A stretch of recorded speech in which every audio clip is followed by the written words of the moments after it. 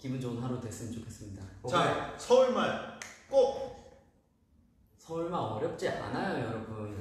저도 다 해요. 하는데 더 편해서 그런 거예요. 자 우리 마지막으로